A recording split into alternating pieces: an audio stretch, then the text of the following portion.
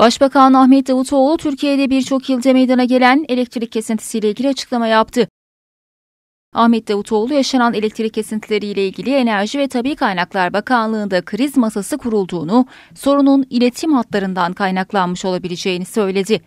Davutoğlu, terör dahil her türlü ihtimali araştırıyoruz dedi.